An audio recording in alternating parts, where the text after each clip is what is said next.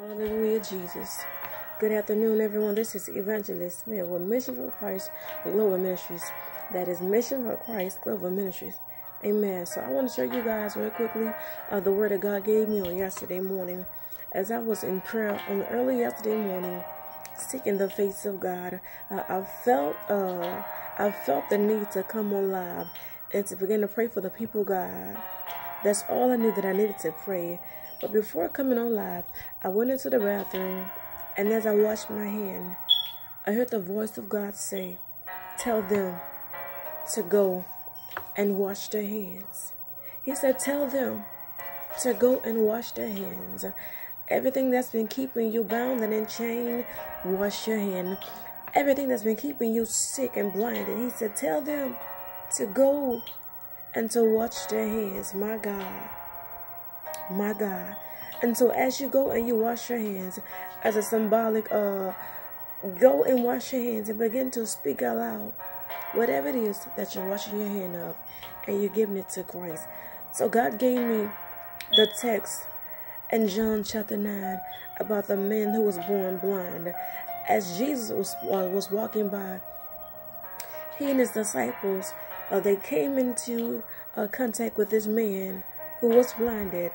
And so Jesus' disciples said, Rabbi, who sinned, this man or his parents, that he was blind, he was born blind? But Jesus said that neither neither sinned, not he nor his parents. But this happened that the works of God may be may manifest.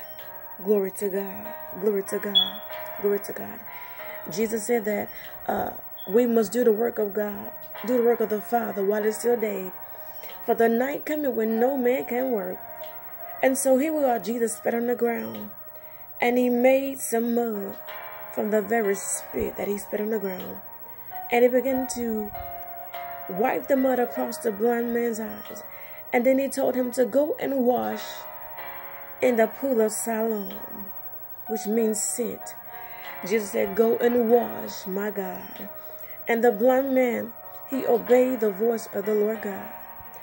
And so he went and he washed, glory to God. And the text says in John 9 and 7, he went his way therefore and washed. And he came home singing, my God. And his neighbors began to, began to question. And those who had seen him before uh, sitting and begging, they begin to wonder, is this the same man that we once knew? Some say he, he is the same man. Some say he looks like him. But the man himself, he declared that I am the man. I am the one you speak of. And so they asked, well, how is it that you can now see?